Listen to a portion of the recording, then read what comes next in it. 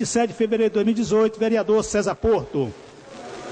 Indicação de número 066, 2018, ao excelentíssimo senhor prefeito, doutor Mário Alexandre. Solicita providência junto à Secretaria de Serviço Urbano, no sentido de autorizar o setor competente a efetuar serviço de capinagem dos meios fio e limpeza geral da CEPLOS, compreendendo o trevo da rodovia Ilhéus Olivença até o cruzamento da barreira, com sentido ao Nossa Senhora da Vitória. Sala das Sessões, Câmara Municipal de Ilhéus, 27 de fevereiro de 2018, vereador César Porto. Educação. Não tem esse aqui da educação. Esse aqui, ó, você lê, isso aqui, lê aqui e tal. Aí nos próximos são iguais, você só lê que é caixa escolar, programa tal, convênio, parcela e tal. Entendeu? O primeiro você lê o resto, você só lê isso aqui. Ministério da Fazenda, comunicado. Excelentíssimo senhor presidente da Câmara Municipal de Ilhéus, de acordo com a legislação vigente, informamos liberações de recurso financeiro destinado à garantia e execução de programas de Fundo Nacional de Desenvolvimento e Educação, conforme abaixo descrito. Poder Estrutural 001, data de emissão 13 de 2 de 2000 2017, valor de 12.500 reais. Entrada na, na caixa escolar da Escola Nucleada de Aritaguá 1.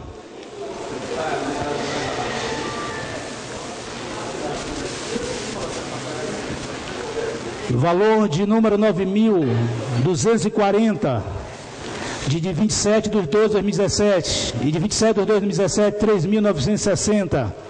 Entrada na escola Grupo Escolar do Brasílio.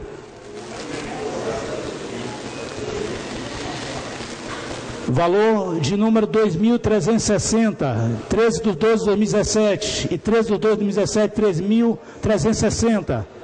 Entrada na escola nucleada de Pimenteira. Valor de 6 mil, entrada 27 de 12 de 2017. 14 mil, entrada 27 de 12 de 2017. Entrada na escola Moisés Boana. Valor de 5.180. 6 dos 12 de 2017. Entrada na escola Odete Salma. Esse edital, Oi? esse edital é todo? Esse edital. Tal de que? Deixa eu ver. Audiência pública. É o mesmo. Aí não, você lê só errado tal. Basta ler o primeiro aqui. Era- Errata do edital de número 01-2018 do município de Ilhéus, Bahia, disponibilizando no Diário Oficial Eletrônico em 20 de fevereiro de 2018, edição 036, ano 3, caderno 1. Edital 01-2018, audiência pública para demonstração e avaliação das metas fiscais do terceiro quadrimestre do exercício de 2017. O prefeito municipal de Ilhéus, Estado da Bahia, no uso das atribuições que lhes são conferidas pela lei orgânica deste município, vem, através do presente edital, convidar os segmentos da sociedade organizada, através de seus representantes legais e os cidadãos em geral, em conformidade com estabelecido no inciso no inciso 4 do artigo 94, no artigo 9 da Lei Complementar de número 101 de 4 de maio de 2000, para participarem da audiência pública em conjunto com a Comissão Técnica de, de Finanças, Orçamento, Obras e Serviços Públicos do Poder Legislativo Municipal, a realizar-se no próximo dia 28 de fevereiro de 2018, quarta-feira, com início às 14 horas, no auditório da Câmara Municipal de Ilhéus, localizado na Praça JJ Seabra, centro nesta cidade, tendo como finalidade a demonstração e avaliação das metas fiscais referente ao terceiro quadrimestre do exercício do ano de 2017, pelo excelentíssimo, pelo Executivo Municipal. Gabinete do Prefeito Municipal de Ilhéus, 20 de fevereiro de 2018. Prefeito Mário Alexandre Correia. Aqui assim, ó. Aqui, ó. Senhores vereadores. Ah, tem mais? Instituto Nosso Ilhéu. Excelentíssimo senhor Lucas Paiva, presidente da Câmara Municipal de Ilhéus, excelentíssimo senhor presidente, com particular e especial apreço é que, nós, que nos dirigimos a Vossa Excelência para atender a pedido dos moradores do loteamento Jardim Atlântico 1, com fluxos nos inciso 23 do artigo 5 da Constituição Federal, do inciso 2, do parágrafo 3 e do artigo 216, todas da Constituição Federal, com base também na lei de número 12.527, de 18 de novembro de 2011, lei de acesso à informação, requerer informação acerca do que se propõe fazer na área verde que foi devastada pela Prefeitura Municipal de Ilhéus no mês de dezembro de 2017, localizado na praça entre as ruas G, H e I.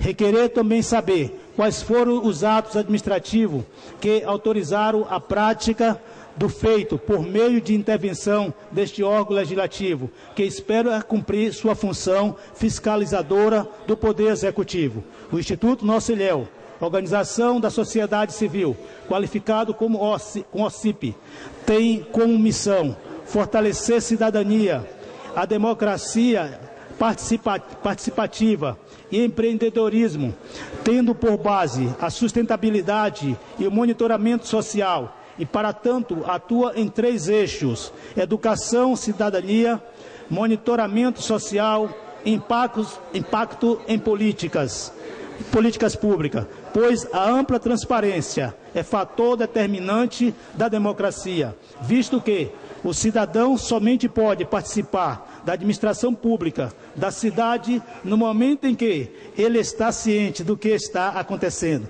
na certeza de que estaremos inaugurando um tempo em que o povo do nosso município almejam restabelecer a credibilidade nos seus representantes eleitos para, em seu nome, exercer o poder. Acreditamos que este ofício será atendido. Agradecemos atenciosamente Maria Socorro Ferreira Mendonça, diretora presidente do Instituto Nossa Ilhéus.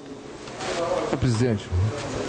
Ronaldo, vereador Demi Almeida. Senhor presidente, no, num primeiro momento, eu até que defendi a ida do fórum para aquela área que é lá no Jardim Atlântico, onde eu moro.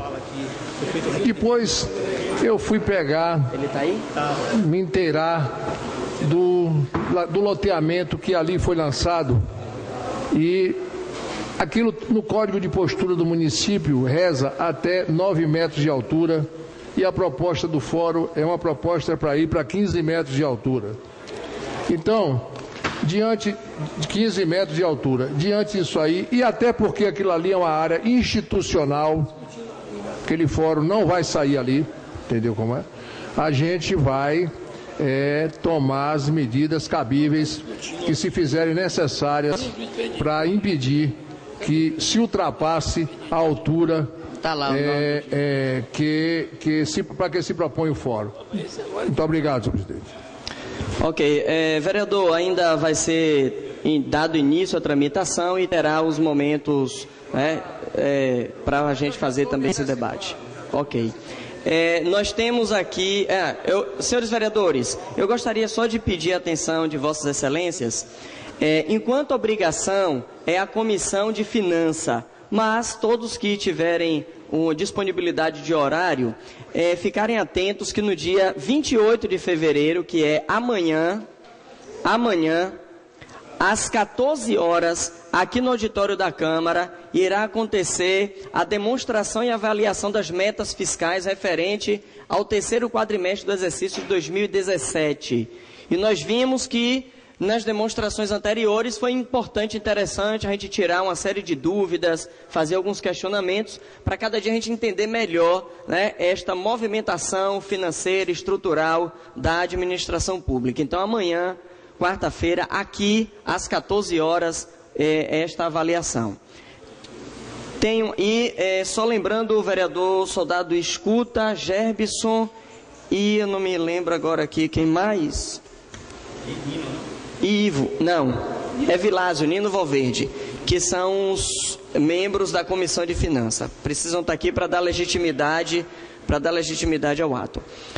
Senhores, tem um requerimento 006 votado já nesta casa para que conceda o tempo de 15 minutos ao senhor Hamilton Santana para explanar sobre a situação do bairro Iguape. O senhor Hamilton se encontra?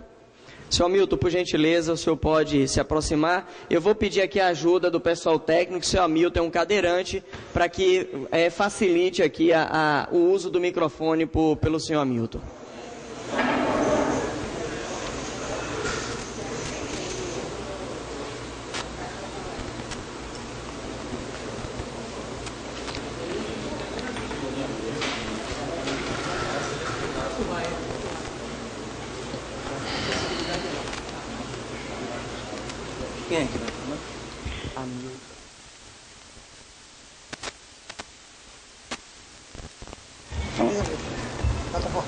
Tá.